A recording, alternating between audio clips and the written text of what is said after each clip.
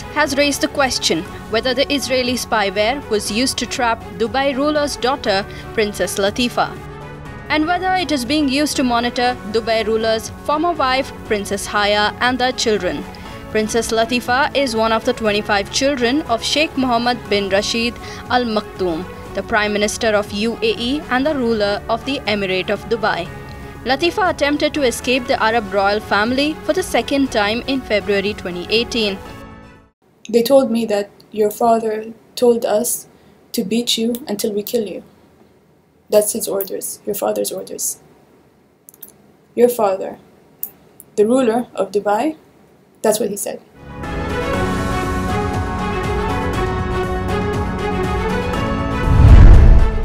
On 24th of February 2018, at 7 am, Latifa was dropped off at a cafe to meet a friend for breakfast in downtown Dubai by her driver.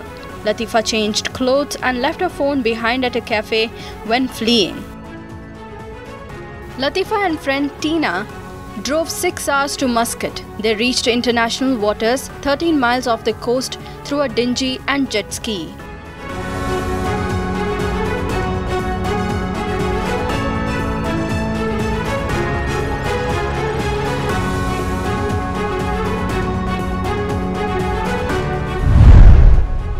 On February 25th, a day after her escape, Latifa's phone number appeared on the Pegasus list.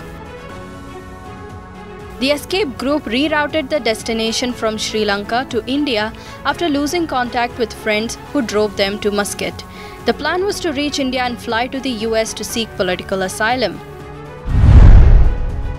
On February 28, numbers of some of Latifa's close friends began appearing on the list, which is determined to have been from Dubai.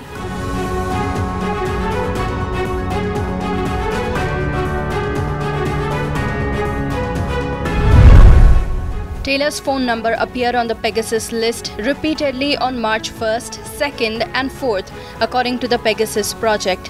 On March 4th, Princess Latifa was caught. Without the examination of Taylor or Linda's phones, it cannot be ascertained whether their phones were hacked through Pegasus. Princess Haya, the former wife of the Dubai ruler, was successful in her escape, but the custody battle for their children continues. Once again, it has raised the question as to how spyware can be grossly misused.